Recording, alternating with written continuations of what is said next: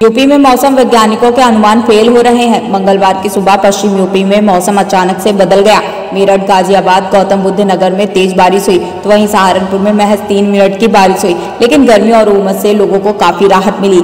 मौसम विभाग के अनुसार गाजियाबाद, इंदिरापुरम, गौतम बुद्ध नगर, नोएडा, दादरी, ग्रेटर नोएडा के आसपास क्षेत्रों में हल्की से मध्यम बारिश की संभावना जताई है।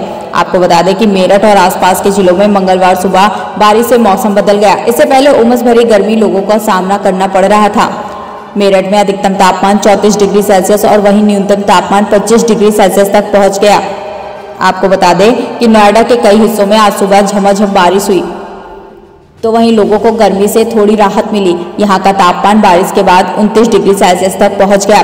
हवा 11 किलोमीटर प्रति घंटे की रफ्तार से चल रही है। तो वही गाजियाबाद के आसमान में सुबह से छाए घने काले बादलों के बीच सुबह से लगातार बारिश हो रही है। वही हवा 11 किलोमीटर प्रति घंटा की रफ्तार से चल रही है। वही बारिश से लोगों ने गर्मी से राहत भी ली है। फ़िलहाल तापमान उनतीस डिग्री सेल्सियस के आसपास आ गया है। आपको बता दें कि सहारनपुर में बूंदाबांदी होने से मौसम सुहावना हो गया। दो दिन से पड़ रही काफ़ी उमस भरी गर्मी से लोगों को निजात मिला। मंगलवार सुबह आठ बजे शुरू हुई बारिश महज तीस मिनट बाद ही बंद हो गई तो वहीं वहीं अधिकतम तापमान 33 डिग्री सेल्सियस और न्यूनतम तापमान 26 डिग्री सेल्सियस दर्ज किया गया। Bureau report, IPN.